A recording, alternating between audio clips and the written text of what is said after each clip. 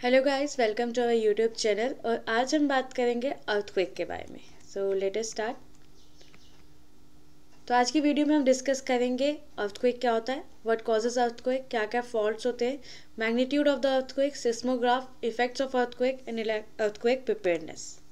तो सबसे पहले डिस्कस करते हैं अर्थक्वेक क्या होता है. अर्थक्वेक एक sudden release of energy in the earth crust that create seismic waves और इसके कॉजेज़ की बात करें तो ये जो होता है movement of the tectonic plates की वजह से होता है, जो बहुत लार्जर पीसेस लार्ज पीस होती है of the earth crust that fit together like a jigsaw puzzle एक जिक्सा पजल की तरह वो एक दूसरे के साथ फिट होती है और जब उनमें मूवमेंट होती है तो हम सब अर्थक्वेक को फील करते हैं.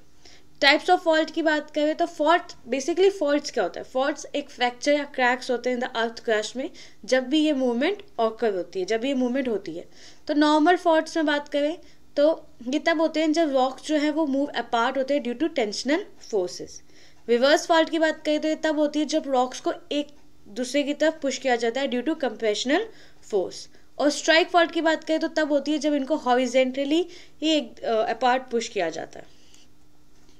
मैग्नीट्यूड ऑफ़ अर्थक्वेक की बात करें तो it is a measure of the energy release by an earthquake और इसको मेजर करने के लिए हम विक्टर स्केल का यूज़ करते हैं to measure the magnitude of earthquake और ये ज़ीरो टू टेन या उससे ज़्यादा की तरफ़ स्केल करता है। Each whole number increases on the scale represent करता है ten fold increase in the amplitude of the seismic waves तो एक होल नंबर इंक्रीज होता है जैसे वन से टू तो इसका मतलब जो आपके एम्पलीट्यूड है सिस्मिक वेव्स का, उसमें टेन फोल्ड इंक्रीज हुआ है। सिस्मिक वेव्स की बात करें तो ये एक इस तरह की एनर्जी वेव्स होती है, जो रेडिएट करती हैं outward from a epicentre primary waves होगी फास्टेस्ट वेव जो कंप्रेस होती है और वॉक्स को एक्सपेंड करती है in the direction of wave propagation और सेकेंडरी होगी स्लोलर जो स्लो होती है और वो शेक करती है ग्राउंड को perpendicular to the direction of the travel seismograph की बात करें तो ये एक इंस्ट्रूमेंट है जिसे हम यूज़ करते हैं ताकि हम मोशन ऑफ़ द ग्राउंड को रिकॉर्ड कर सके और मेजर कर सके ड्यूरिंग एन अर्थक्वेक और ये कंसिस्ट करता है एक स्टेशनरी वेस्ट का, एक सस्पेंडेड वेट जो स्टेशनरी रहता है ड्यूरिंग एक लेकिन जितनी भी मोशन है ग्राउंड की, उसको रिकॉर्ड भी करता है और मेजर भी करता है। इफ़ेक्ट्स की बात करें तो ग्राउंड शेकिंग आप देख सकते हैं कि जब अर्थ को एक आता है तो हमें दिखता है कि देखते हैं, महसूस करते हैं कि बिल्डिंग्स हिल रही हैं ब्रिजेस हिल रहे हैं स्ट्रक्चर्स और उनके कोलैप्स होने का डर होता है। सुनामीज अंडर वाटर अर्थ को एक जो है लार्ज ओशियन वेव्स को जनरेट करते हैं, जो लॉन्ग डिस्टेंस तक जाते हैं, जिन्हें हम सुनामीज कहते हैं। लैंडस्लाइड्स क्योंकि स्लोप्स जो होते हैं, वो अनस्टेबल हो जाते हैं, जिसकी वजह से मूवमेंट जो सॉयल रॉक्स की, वो बढ़ जाती है।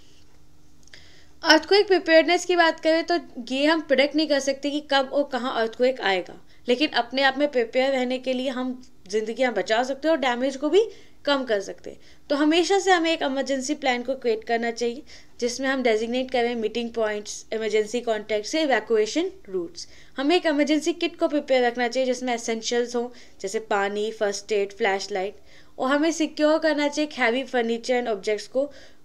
वॉल ब्रैकेट्स लगा के या फास्टनर्स लगा के, ताकि वो अर्थक्वेक के दौरान मूव का कम कर सके और हमें ड्रॉप की प्रैक्टिस करनी चाहिए। पैनिक नहीं करना चाहिए हमें, सबसे बेसिक चीज़ है है क्योंकि जब भी ऐसी सिचुएशन आती है मोस्टली लोग पैनिक कर जाते हैं तो वो नहीं करना चाहिए हमें। ड्रॉप कवर एंड होल्ड इन तीन चीज़ों को हमें याद रखना है कि हमें ड्रॉप करना है कवर करना है खुद को और किसी चीज़ को होल्ड करना है। स्ट्रक्चर्स को अवॉइड करना है, जितने भी बिल्डिंग स्ट्रक्चर्स हैं टॉवर्स हैं बिल्डिंग्स हैं, या जो भी ऐसे बेसिक बड़े बड़े स्ट्रक्चर्स हैं, उनको हमें अवॉइड करना है। और एक चीज़ रिमेंबर एक चीज़ हमें याद रखनी है कि हमें एक ड्रिल्स को अपने घर में स्कूल में प्रैक्टिस करना चाहिए, ताकि हम प्रिपेयर रहें और हमें पता हो कि हमें एग्जैक्टली exactly क्या करना है। और सबसे बेसिक चीज़ जो हमें याद रखने की ज़रूरत है, यह कि हमें प्रिपेयर प्रिपेयर्ड रहना है और काम रहना है। और यही एक की है कि हम किस तरह सेफ़ रह सकें during an earthquake thank you thank you so much